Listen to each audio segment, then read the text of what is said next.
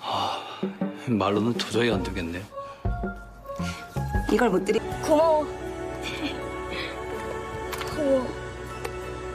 이건 어떻게 알아? 改编自韩国 Webtoon 人气网络漫画的同名漫改剧《今生也请多指教》终于开播。《今生也请多指教》由安普贤、申惠善两人担任男女主角出演。又因为该漫画原著在网络上有着很高的人气，因此在宣布将翻拍成电视剧时，大家都非常期待。今天小编就来带大家看《今生也请多指教》的首播剧情亮点、评价及收视率。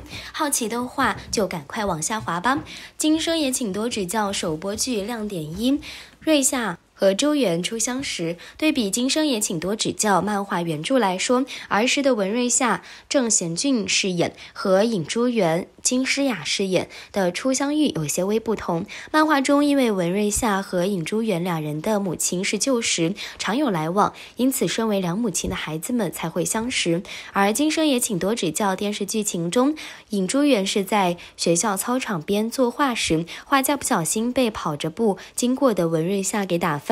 才发生了第一次的相遇，今生也请多指教。首播剧情亮点二：瑞夏遭遇车祸患听力障碍，在文瑞夏、郑贤俊饰演。生日当天，尹珠元、金诗雅饰演，遵守约定和他一起乘车前往游乐园。行车过程中，尹珠元递了一个上锁的盒子，并告诉文瑞夏，若今天他表现好，就将盒子的钥匙给他。没想到话才刚说完，一辆大货车朝着两人乘坐的小汽车撞来，车辆飞出。后坠落在地，而尹珠元为了保护文瑞夏受重伤而过世。在那之后，文瑞夏因为这起车祸而有了听力上的障碍，有时会出现间接性的失聪，甚至是昏倒的情形。此外，文瑞夏也觉得尹珠元的死亡是自己的过错，对此一直怀有愧疚和罪恶感。今生也请多指教。首播剧亮点三：申惠善第十九次转世潘之音，尹珠元、金诗雅饰演，在第十八次的人生因车祸过世后。第十九次，他再度转世，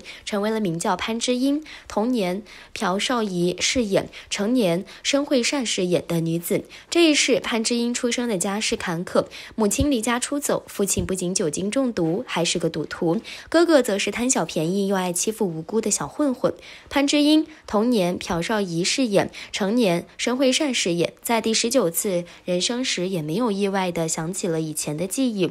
当然，这其中也包括了他在上一事实非常在意的男孩文瑞夏，儿时郑贤俊饰演，成年安普贤饰演。自己的钱都被爸爸诓走的潘之英，为了去见文瑞夏，他找到了前世。第十七世转世成马戏团团员的金钟浩、李在军饰演，是自己一手抚养长大的侄女金爱景、车清华饰演帮忙，成功见到了已经长大的文瑞夏。今生也请多指教。首播剧情亮点四：申惠善直求二次告白。在潘之英小时候见到文瑞夏不久后，文瑞夏便被家人送到德国留学，直到八年后才回韩国。八年后的潘之英靠着转世多次而积累来的。知识、职场经验和优秀的工作能力，成功进入了文瑞夏所工作的地点，同时也是文瑞夏家的家族企业 MI 酒店。虽然潘之英的外貌和上一世完全不同，但他讲的话散发出的氛围感，总能让文瑞夏想起已经过世的尹珠元。一心一意只有文瑞夏的潘之英，在文瑞夏面试自己时，连续两次询问对方要不要和我交往，坚定的态度着实让文瑞夏受到惊吓，并感到不。不知所措，但慌张的小表情在潘之英眼中也是如此可爱。今生也请多指教首播评价和收视率。漫改剧《今生也请多指教》在韩国首播后，第一集的平均收视率有百分之四点三，全大韩民国算是个还不错的开始。不过评价方面则有些两极，部分看过原著漫画的观众表示，有身材好有。肩膀流氓之称的安普贤来饰演体弱多病的文瑞夏，代入感不够强，有些出戏。但有一部的观众则觉得剧情走向目前还能接受，没有太大的落差和失望感。